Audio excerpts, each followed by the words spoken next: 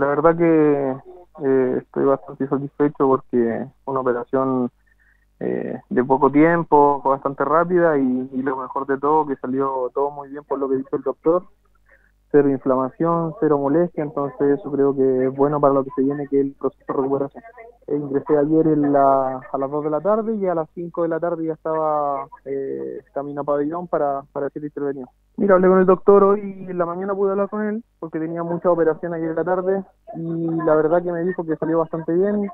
eh, mejor de lo que esperaba porque eh, estaba como no había no había mucho que hacer sino que meter el perno correspondiente y que ahora se forme la callosidad para, para darle a la recuperación y, bueno me, me, dio las indicaciones correspondientes para que saliera todo bien para que para que todo esto fuera un éxito así que estar tranquilo nomás que es la parte importante ahora porque hay que descansar al menos una semana eh, de reposo y, eso te significa que, que a veces uno se desespera un poco en casa así que tratar de estar tranquilo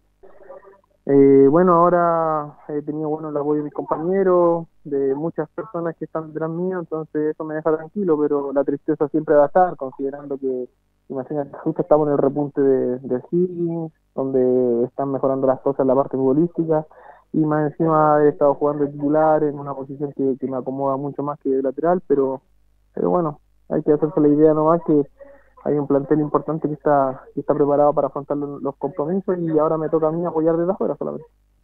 Sí, la verdad que mucho agradecimiento a todas esas personas que a veces tú no las conoces y, te están dando una palabra de aliento. Creo que eso también es muy importante para, para el jugador porque en esta etapa es, un poco frustrante el hecho de, saber que te estás perdiendo la parte linda del campeonato, que es como eh, la mitad del torneo donde se puede decidir si va a pelear el campeonato hasta el final o,